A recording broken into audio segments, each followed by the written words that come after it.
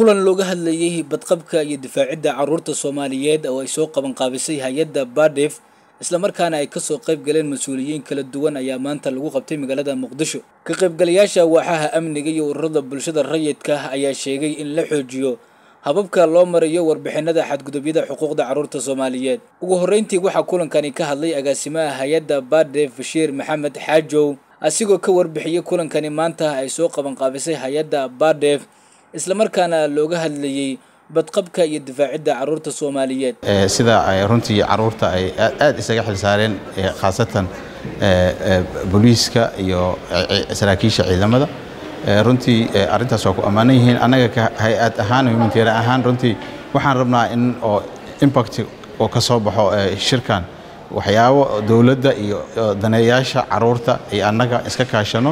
Dhanka kale agaasimaha waaxda caafimaadka ee sodmo doctor cabdulaahi iyo duniya maxamed carshaan oo u hadlaysay ururada bulshada rayidka ayaa dhankooda tilmaamay in bulshada soomaaliyeed ay u baahan yihiin wacyigelino ku aadan sidii looga fogaan lahaa dhibaatooyinka soo gaara carruurta soomaaliyeed. Waxaan aada uga maaragtay wakhti gelinaa in carruurta ay helaan fursado badan markay imaato dhinaca aan annaga ka shaqaynayno difaacidda carruurta waa program weyn waaye dowladda meelo kala duwanay uga kala jirtaa annaga meeshaan uga jirno waxaan isleenahay sannadkii aan joognay wax weyn ayay ka qabatay hay'adda. Sababta ee carruurta waxaa xanaaneeyo diin ahaan dhaqan ahaan aad ogtihiin burburkii markuu dhacay wax la barakacaayo barakaca markuu dhaco waxaa ogtihiin odayaashii in dagaalkii iyo dagaaladii ay ku jiraan waxa haayo waa inay ka warqabaan la rabo oo soo xanaaneeyey ama fiigooda iskoolka bixiyo waxaa waaye haweenka haweenka doorka ugu muhiimsan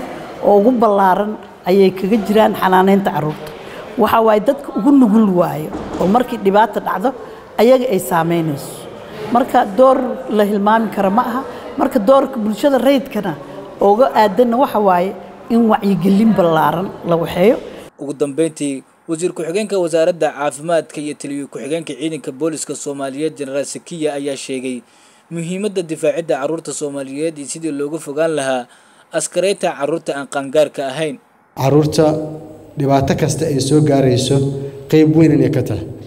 Hadduu ahaan lahaa in ayaga lagu dhibaateeyo ama hooyadii ay isticmaasho ama qof isticmaalay uu dhibaato geysto. Marka ayadana waxaan is leeyahay waa wax la xiriira tacalluq weynna la leh wasaaradda caafimaadka. Daraagiskaasna hadda waxaan filayaa procedure fiican u socda in la ilaaliyo.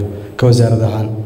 Su'aasha ugu horeysa oo isweydiinaya waxaa weeyaan caruurtan waa soo badbaadina xaggee geynaa. Meel oo victim support mobile units xataa haddii loo sameyn lahaa ee gabdhaha ku jira ciidamada xoogga dalka waxaan aaminsanahay wax badan inay maxaan ku rahdaa looga hortagi lahaa xadgudubyaha kadan ka dhan ah ee carruurta iyo haweenka.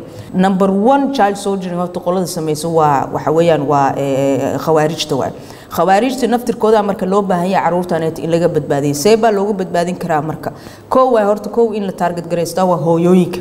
Hooyooyinka iyaga haddii ciyaalkooda ay ku dhagaan ay ka soo badbaadistaan ay ka soo wareejistaan meelaha maarkin oo khawaarijta weli gacan ugu jirto waxay fududeynaysaa caruurtaas inay u madaxweynaha jamhuuriyadda federaalka soomaaliya mudane xasan sheekh maxamuud ayaa labadii oktoobar labada kun iyo shan iyo tobankii saxiixay axdiga dhowrista xuquuqda carruurta cabdiraxmaan shaahu warbaahinta qaranka muqdisho